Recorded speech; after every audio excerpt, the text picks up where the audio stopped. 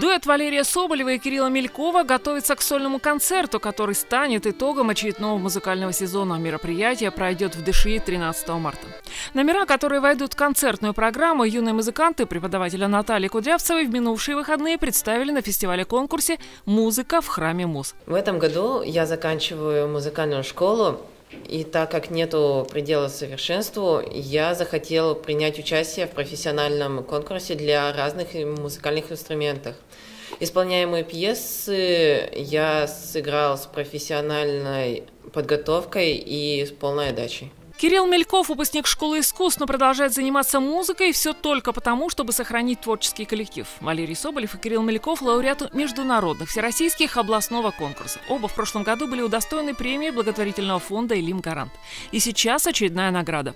В Каргополе дуэт баянистов «Гармония» стал лауреатом второй степени. Такую же награду получил Валерий Соболев по итогам выступления с сольной программой. Лауреатами третьей степени стали Тимур Сабашников и Иван Говоров. Они выступили и сольно, и в дуэте. Поездка вместила не только конкурсную программу, но и знакомство со старинным городом Каргополь. Я первый раз ездил в город Каргополь.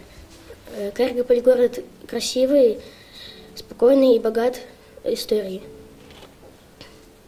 Соревноваться было трудно, но мы с ребятами заняли хорошие места. Я хочу поблагодарить педагогов и родителей, что поддерживали и заботились обо мне.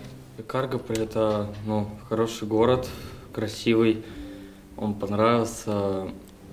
То, что старинный такой, очень интересно в нем.